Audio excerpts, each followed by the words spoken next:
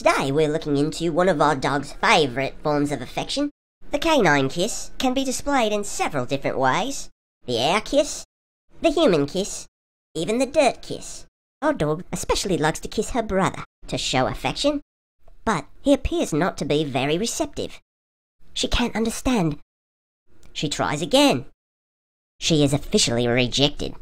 She finds this rejection completely humiliating and she lashes out. But this only makes things worse.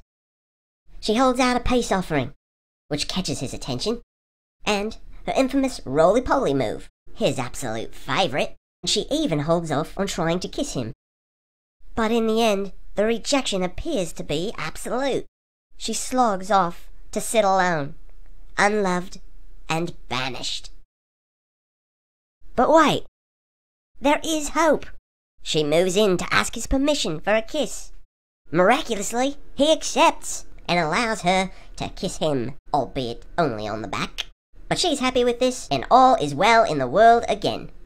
Good day. This is dogblogtv.com.